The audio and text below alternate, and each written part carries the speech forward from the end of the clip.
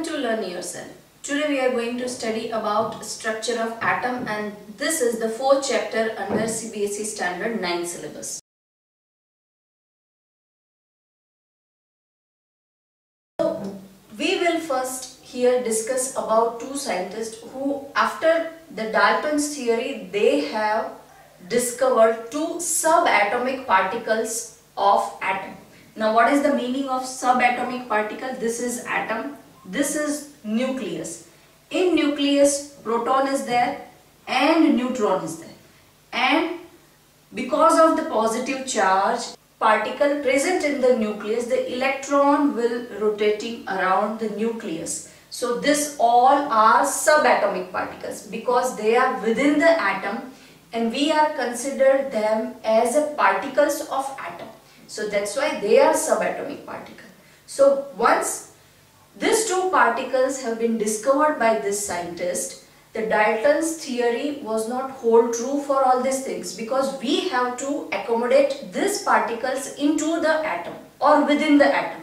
So after this, some scientists have given their model, a proposed model of atom.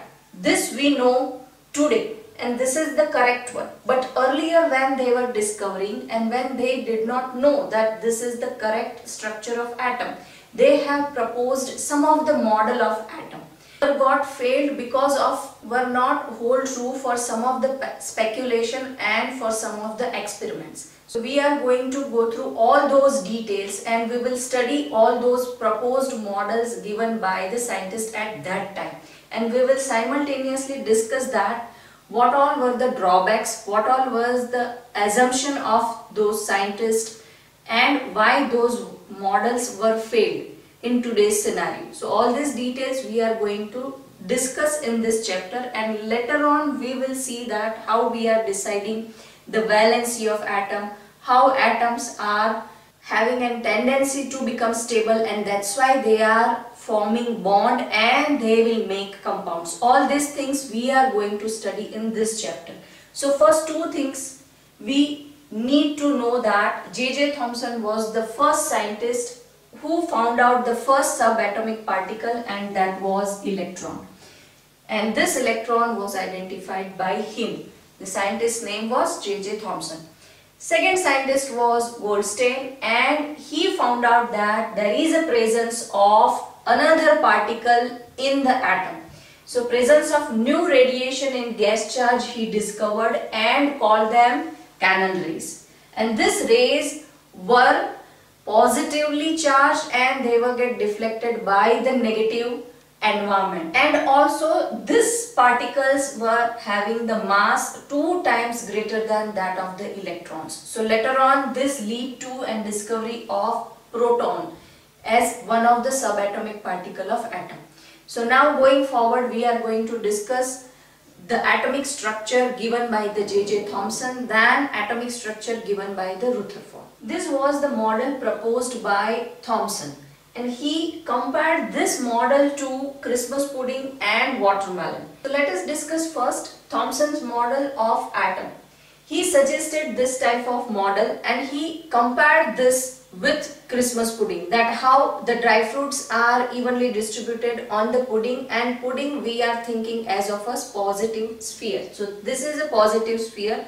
Onto that electron charge are equally distributed. So this was his discovery and his proposed model of atom. We can also think of watermelon that in how uh, red structure the seeds of the watermelon are evenly distributed. So that is how he predicted the structure of atom. He also proposed two main points that an atom consists of positively charged sphere and the electrons are embedded in it. So in complete positive sphere, the electrons are equally evenly distributed onto that. Then second, the negative and positive charges are equally in magnitude because the atom as a whole is electrically neutral.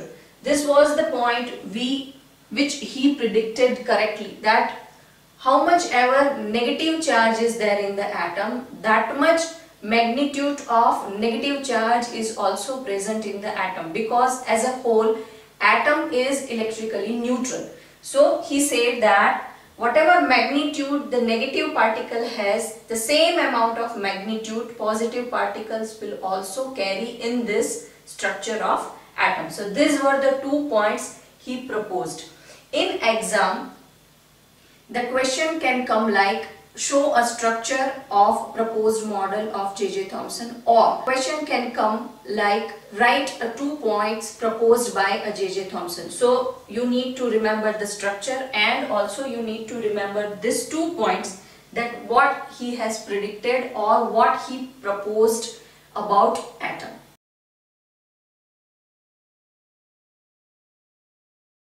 Rutherford's model of atom. Rutherford performed one experiment before proposing a model of atom.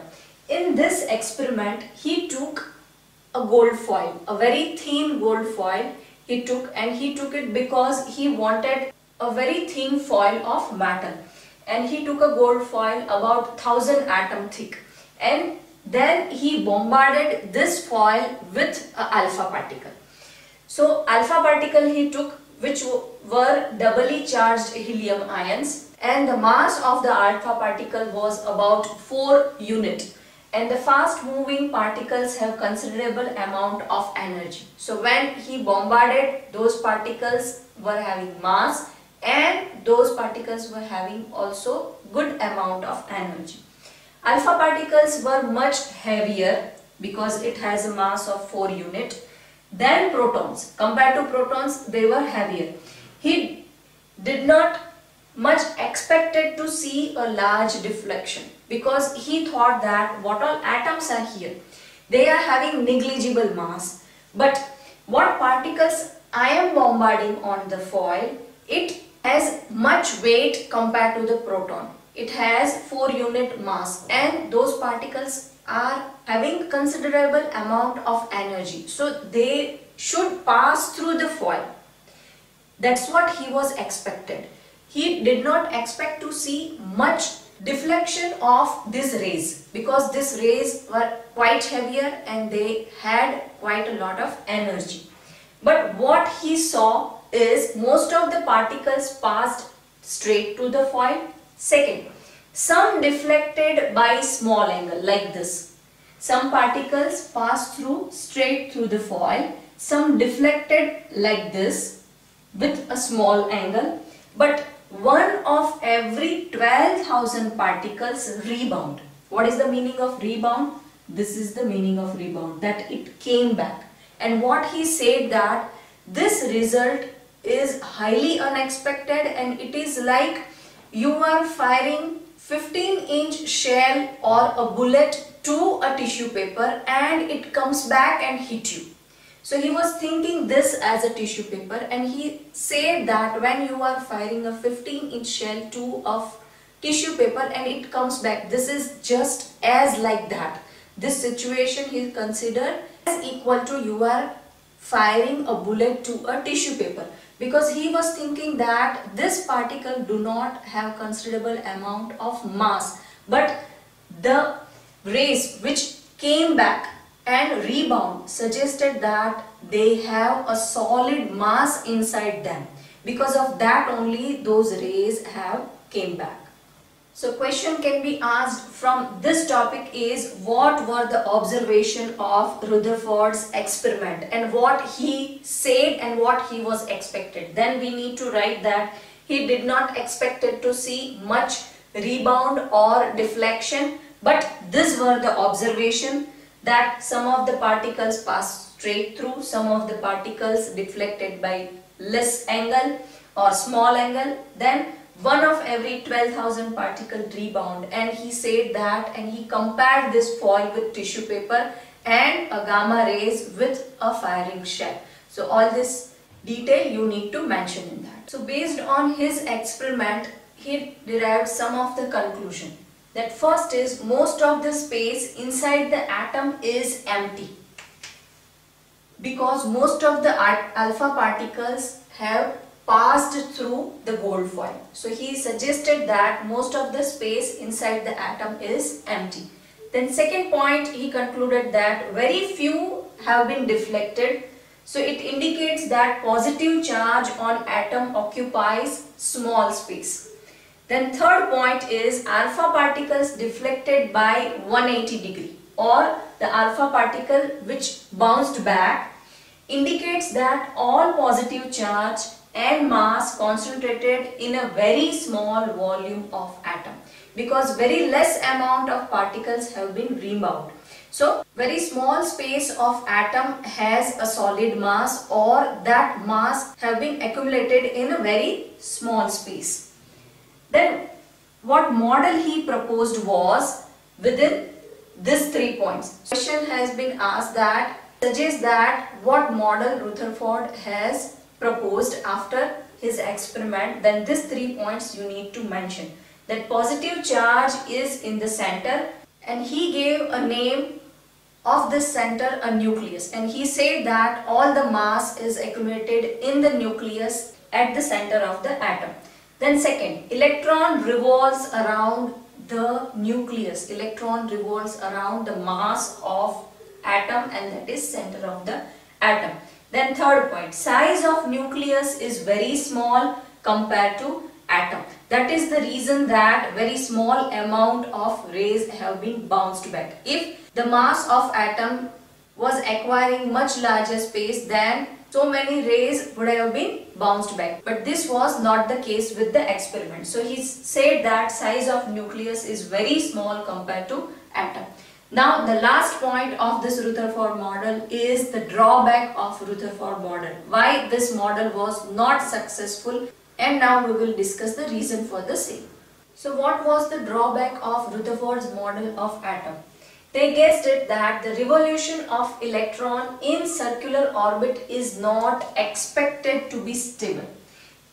Rutherford proposed that this is the nucleus and electron is rotating around this nucleus. And they expected that this revolution will not be stable because during acceleration charge particle electron is charge particle. So during acceleration charge particle will radiate somehow some amount of energy and this would lead to a loss of energy. When continuously they are rotating around the nucleus they will radiate some energy and ultimately they will lost energy. And when they will completely lose the energy finally they will fall back to nucleus. So in this scenario the atom should not be a stable so they said that atom should be highly unstable if this is the scenario or this is the case or this is the model of atom. But this statement is not true because all the matter existed in the nature, all the atoms existed in the nature are quite stable and all the atoms of that matter are quite stable. So whatever they have expected that this this is an structure of atom and electrons are rotating around the nucleus then it should not be stable. But in the nature the matter is quite stable. So this was the main drawback of Rutherford that he his model and he was failed to explain this phenomena through his structure. So this was the main drawback of his structure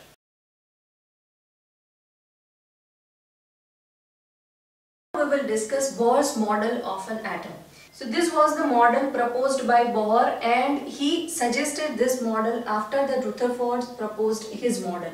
And he gave two postulates about it that only certain spatial orbits known as discrete orbits of electrons are allowed inside the atom. Then second, while revolving in discrete orbits, the electrons do not radiate energy. So he suggested that atom is quite stable. Even though electrons are rotating around, they are not losing energy, they are not radiate any kind of energy. And he proposed this structure of atom in which he suggested that these are the energy levels which are around the nucleus and he said that first energy level he mentioned as a K, second energy level he mentioned as L and successively M and N. And he said that electrons are distributed among this energy levels and he said that these are energy levels of the atom. So this two postulate we need to remember question can come as mention two postulates given by the Bohr's model of atom or which two postulates have been predicted by the Bohr's. Then this is important question and it can be asked in one mark question that what name has been suggested by Bohr for orbits? What he called the orbitals. Then you need to mention that energy levels.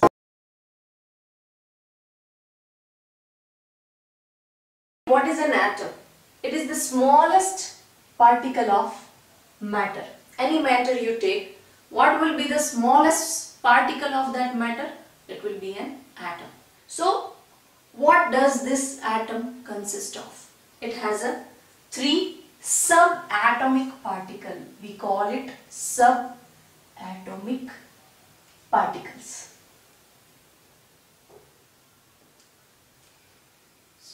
Within the atom there are three particles. That's why we are called it subatomic particles. First is proton, second is neutron and third one is electron. So here this is a structure of atom. This is a nucleus. This inside portion is nucleus and surrounded by the orbitals. There are n number of orbitals.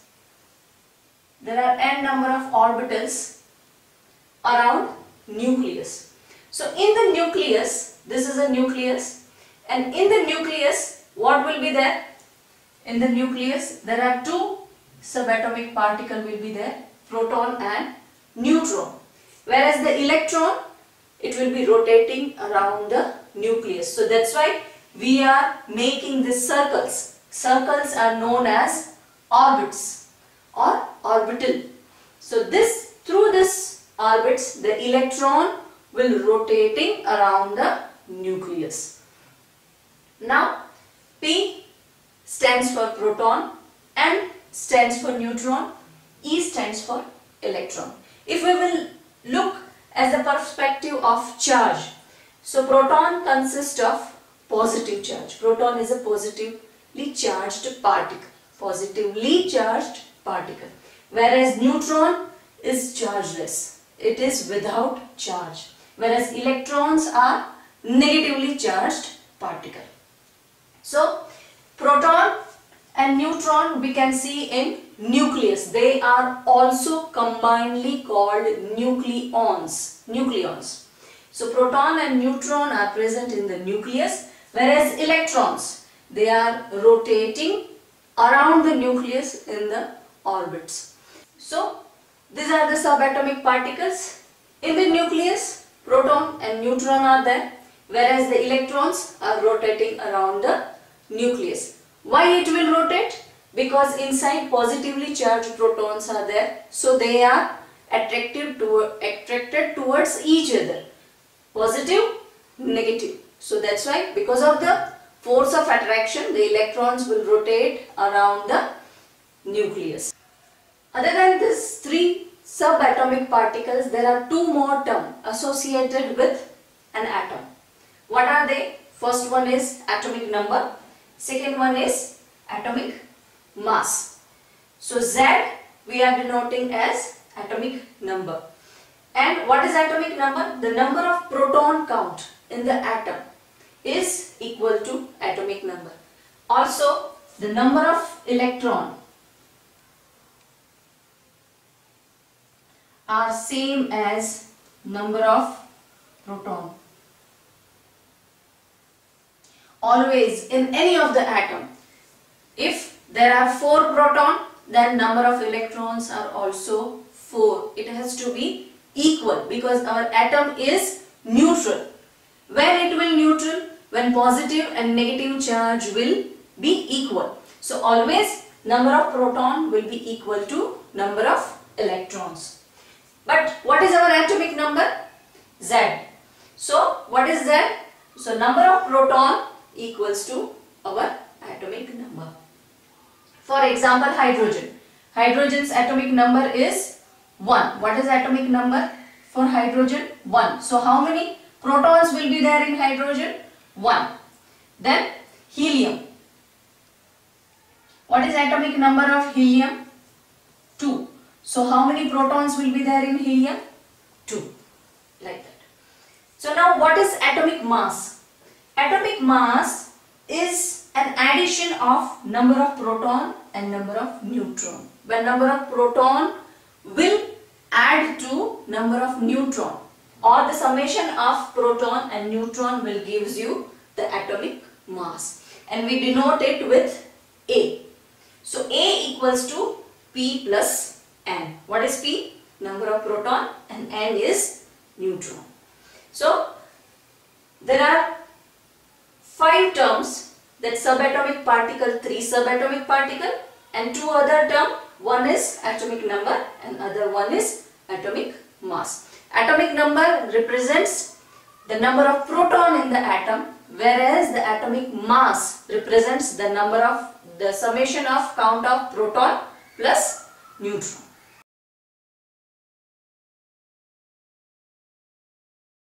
When we are writing electronic configuration, what we are doing? We are distributing electrons according to the maximum capacity of that particular orbit. Let us learn that. So first, this is an atom and these are my orbits. We are going to learn about four orbitals. First one will be K. First one means the next to nucleus is the first orbit. So this is orbit K. After that, second orbit that is L. So next to K is orbit L. Then the orbit M. So next to L, this will be our orbit M. Next to M, it will be N. So we have total four orbits K, L, M and N. So these orbits will start from the nucleus and go far. So how many electrons can we put in K? So each and every orbit has its capacity to accommodate maximum number of electrons. How can we count that? We can count it from 2n square. At the place of n, k is orbital number 1. So we are putting integer 1. At the place of n, when we are counting for L, we will write 2. So if we want to check that how many electrons k orbit can accommodate, then how we are going to write it? 2 into 1 square. At the place of n, we have kept the number of orbit because k is the first orbit, so I have kept here 1. So,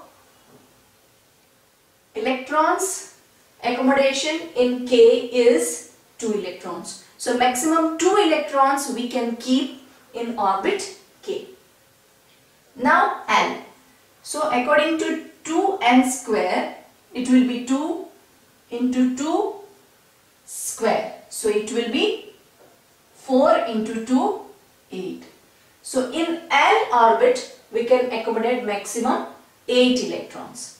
M is our third orbit. So, 2n square and at the place of n we will keep 3 because that is our third orbit. So, which number we are going to get here? 3 into 3, 9 into 2, 18. N is our fourth orbit. So it will be 2 into 4 into square. So it is going to be 16 into 2, 32. So these are the maximum capacity of each and every orbit. K can accommodate 2, L can accommodate 8, M can accommodate 18 and N can accommodate 32 electrons in their orbits. But now there are two basic rules to distribute electrons. So distribution of electrons, how we are going to do that? Rule 1. Orbitals can accommodate electrons as per their maximum capacity. What is the maximum capacity? This is maximum capacity of each and every orbit. So more than this, we cannot keep the electrons in that particular orbit. So rule number two, more than 8 electrons, this is very important, more than 8 electrons we cannot keep in any of the orbit. Yes, it is true that m orbital's maximum capacity is 18 but more than 8 we cannot put. If you have 9 electrons then 1 electron you have to pass it to n. You cannot keep more than 8. So here it is 2. So only 2 electrons because again its maximum capacity is 2. So you cannot put 8 electrons. Here also 8 electrons, here also 8 and here also 8. So when you are distributing an electrons, how many electrons you are going to put in each and every orbit? This is 2 for K, 8 for L, 8 for M and 8 for N. So this are the real capacity of each and every orbit. This is the capacity of the orbit but according to the rule when you are writing an electronic configuration you have to keep this capacity in the mind because more than 8 electrons you cannot put in any of the orbit. Now let us try some of the example that how we are going to write electronic configuration for an element sodium, carbon and potassium. When we are writing an electronic configuration, we do know the atomic number for that element. In 8th standard ICSE syllabus, from element 1 to element 20 is there. So, you have to remember the name of the element and atomic number of the element. Because in the exam, most probably, your teacher will not going to give you the atomic number. The questions will be like, write an electronic configuration for potassium write an electronic configuration for magnesium. So you should know the atomic numbers of all the elements given in your textbook. So let us try to understand that how we are going to write an electronic configuration. First we have sodium. Let us revise our concept of orbitals that is K, L, M and N. We do have four orbitals. So K, L, M and N. So what are the maximum capacity of each and every orbit? 2, 8, 18 and 32. And what is the rule number 1? That if the maximum capacity is 18, we cannot put more than 18. And what is rule number 2? The most important rule is we cannot put more than 8 electron in any of the orbit. So let us write electronic configuration for sodium. So this is K, L, M and N. And atomic number is 11. What is an atomic number? Atomic number is number of proton of any element. Number of proton is equal to number of electrons. So can I say that there are 11 electrons in sodium? Yes, because what is atomic number? Number of proton and number of proton is equal to number of electrons. So there are 11 electrons in sodium. So how we are going to distribute it? What is the capacity of K? 2. So I am keeping here 2. Now how many more electrons left? There are 9 electrons left because I have put only 2 here. So L has 8 maximum capacity is 8 so I cannot put more than 8. So here 2 then 8. Now 1 electron left I am keeping in M. So this is going to be the electronic configuration for sodium according to their maximum capacity and more than 8 electrons we cannot keep in any of the elect electrical orbital. Now second example we will take of carbon. Carbon's atomic number is 6. So we can say that there are 6 electrons in carbon. Yes. So K, L, M and N. So what is the maximum capacity of K? 2. Then how many more electrons left? 6 minus 2, 4. So leftover electrons will keep here. That is 4. And what is the maximum capacity of L? Is 8. So yes, we can write 4 here. So what is electronic configuration of carbon? 2, 4. Now let us take an example of potassium. We'll write K, L, M and N. So first we are going to write here 2, then it is 19. So how many electrons left? 17. So here according to the capacity I am writing here 8. Now what is M's capacity? It is 18. But yes that maximum capacity is 18. So we cannot we can write all over the left electrons over here 2, 8, 10, 9 we can write here. But according to the second rule more than 8 electrons we cannot keep in any of the orbits. So we have to write here 8 again. Here 2, 8 we have written. Now leftover electrons are 9. But capacity of M is 18. Yes, that is correct. But according to our rule 2, more than 8 electrons we cannot keep in any of the orbit. So we will write here only and only 8. Even though the capacity is 18, we will write here 8. And how many more left? 2, 8, 10, 18? Only 1 is left. So 1 will be going to N.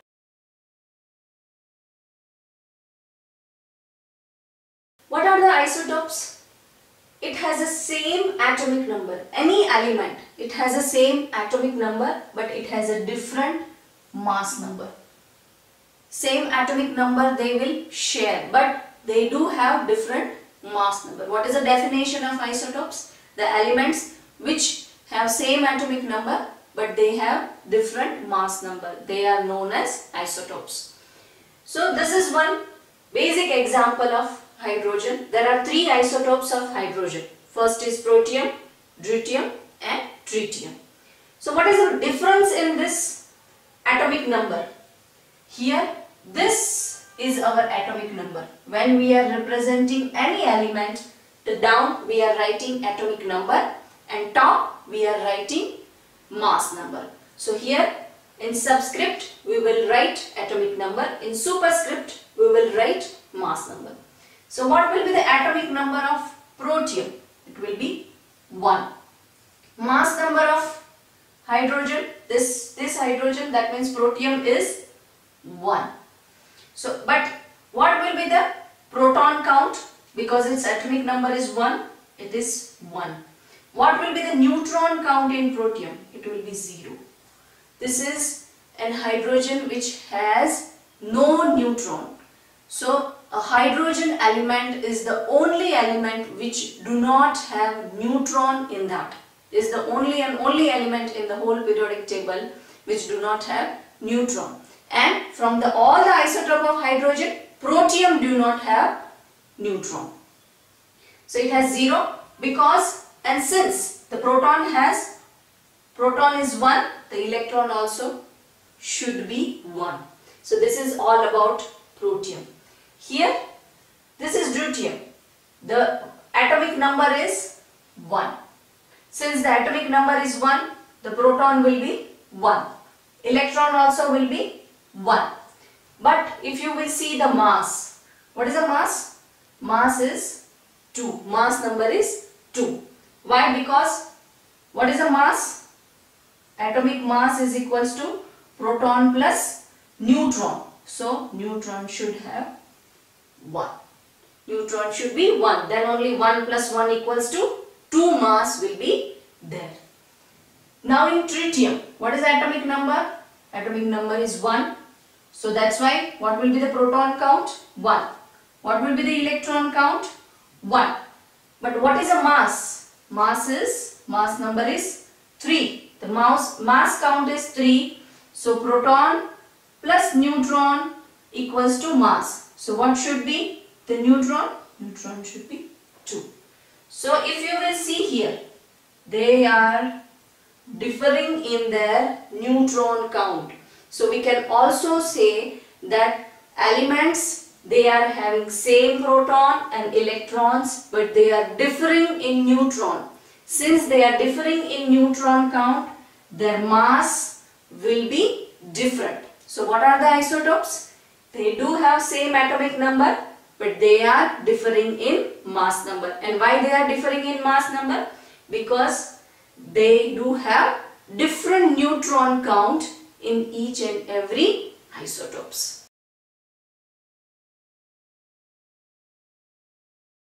One reason is there that why isotopes have similar physical properties but they are differing in their chemical properties. So let us find out the reason for the same. So what are the isotopes? Isotopes are the elements which have same atomic number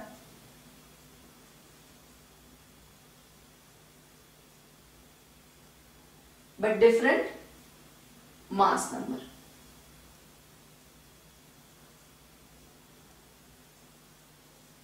So for that we need to know what is atomic number and what is atomic mass. Atomic number is number of proton and what is mass number? The total number of proton plus total number of neutron for any atom is mass. Do you remember any example of isotope? Yes, hydrogen, protium, deuterium and tritium. They are differing in their neutron. So that's why their mass number will be different. If you have any doubt regarding this concept, please check out my 8th standard video based on isotope. So here one sentence is there that isotopes have similar chemical properties but they have different physical properties. Now first we will try to understand that if it is a chemical properties it is based on what and if it is a physical properties it is based on what. So when we are talking about chemical properties so chemical properties are always depending upon the number of valence electron and number of electrons because always electrons and valence electrons are taking part in the chemical reaction. Basically the valence electrons are taking part in the chemical reaction. So it is very very important that how many number of electrons are there and we do know that number of proton is equal to number of electrons. So if these two are same then their chemical properties are same. And yes isotopes have isotopes have same atomic number.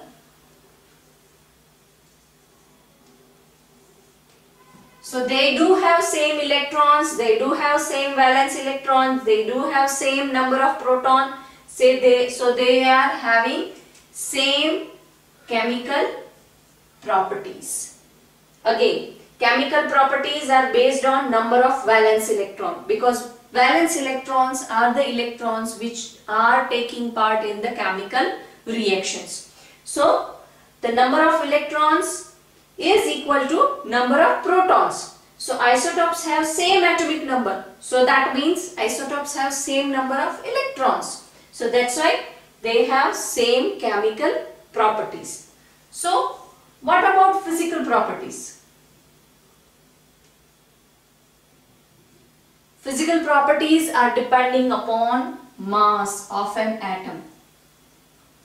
They are depending upon mass but isotopes have different neutrons they do have different neutrons so their mass will changed.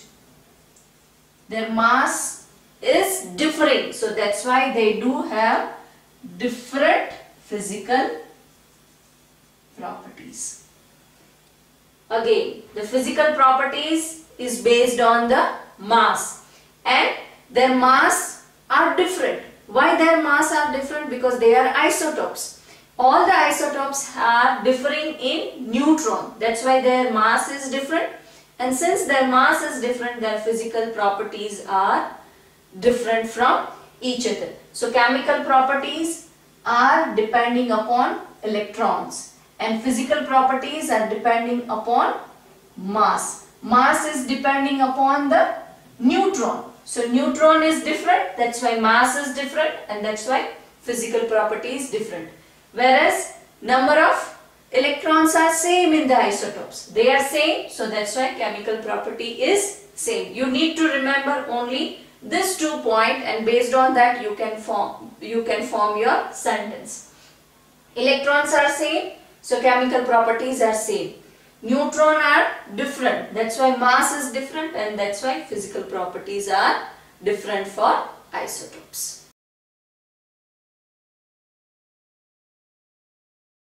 Difference between isotopes and isobar and simultaneously we will discuss that what are the isotopes and what are the isobars. First of all, what are the isotopes? Isotopes are the elements having same atomic number but different mass number. So basically we can say that these are same elements but they differ in neutron count so their atomic mass will be different. Here we can say the example of hydrogen. So here this is deuterium and this is tritium. So here I will write D and here I will write T. So it is protium, deuterium and tritium. So in this the proton count will remain same. This is the same element. This is one element that is hydrogen but hydrogen has different isotopes in which one has 0 neutron, other one has 1 neutron and the third one is has 2 neutrons. So that's why its mass number will be different. One has 1 mass, second has mass number 2 and third has mass number 3. So that is why these are known as isotopes. So they have same atomic number but different mass number. And why this will be there? Because they are differing in their neutron count. They have different neutron count. Their electronic configuration is same why is it so? Because electronic configuration we are writing from atomic number. Now atomic number equals to number of proton equals to number of electron. So that's why all isotopes has same atomic number, same number of protons, same number of electrons. So that's why the distribution of electrons will remain same. So they will share, they have same electronic configuration if we will see here. These two are the isotopes of carbon. So they have same atomic number 6 6 they are differing in mass. If you will see here 12 and 14 their atomic mass are different. But we are writing electronic configuration from atomic number. So that's why electronic configuration for both the carbon will be 2 and 4 now let us see for isobars. What are the isobars? That they have same mass number. Their atomic mass are same but they both are different elements. For example calcium and argon. They both are completely different element but they have same atomic mass. So since they are both different elements their atomic number is different. So their electronic configuration will different. Right. So that's why they are called isobars. So what are the isobars? Different atomic number but same mass number. Here that is the difference between these two. Same atomic number, here different atomic number. Different mass number, same mass number. So here you can write like same atomic number and here we can write like different atomic number. So here SAN is isotope whereas DAN is isobar. So same atomic number and different atomic number. So first we are writing same then in mass we can we can write here different. First we are writing here different then in second we can write here same for atomic mass or mass number. Here you can write atomic mass. So that is how you can remember. So what are the isobars? Different atomic number but same atomic mass. They are two different elements. Then their electronic configuration is different because their atomic number is different. Their electronic number is different. Their electron number is different and so their electronic configuration will also be different. So this is the basic difference between isotopes and isobar. there are two more videos based on isotopes and, and in those two videos we have discussed isotopes in detail. Those videos details I have given in the description. So please go through those videos. If you have any doubt, please do write us at our email address. I'll see you in next video. Till then, keep learning, keep sharing.